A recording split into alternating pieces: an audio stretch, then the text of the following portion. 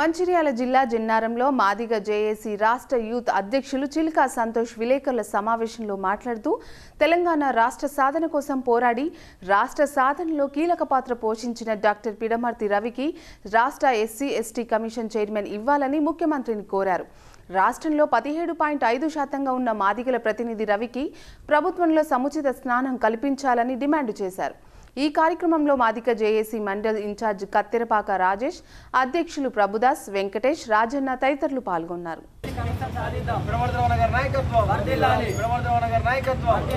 సాధిస్తాం సాధిస్తాం సాధిస్తాం సాధిస్తాం డాక్టర్ గారు అన్ని వర్గాలేమో మాకు తెలియదు కానీ ఇలా మాదిగల పరిస్థితి మాత్రం పొయ్యిలో నుంచి తీసి పెనంలో పెనం మీంకెళ్ళి తీసి పొయ్యిలో పడ్డట్టు అయిందయ్యా.